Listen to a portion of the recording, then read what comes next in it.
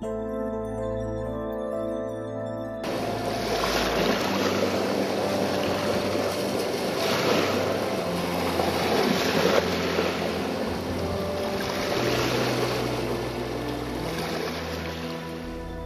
Signore, Signore nostro, quanto è magnifico il tuo nome in tutta la terra.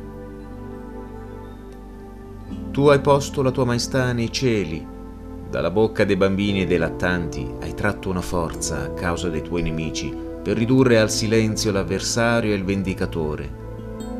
Quando io considero i tuoi cieli, opera delle tue dita, la luna e le stelle che tu hai disposte, che cos'è l'uomo perché tu lo ricordi il figlio dell'uomo perché te ne prenda cura.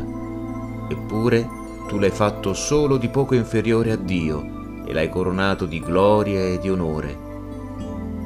Tu lo hai fatto dominare sulle opere delle tue mani, hai posto ogni cosa sotto i suoi piedi, pecore, buoi, tutti quanti, e anche le bestie selvatiche della campagna, gli uccelli del cielo, i pesci del mare, tutto quello che percorre i sentieri dei mari Oh Signore, Signore nostro, quanto è magnifico il tuo nome in tutta la terra.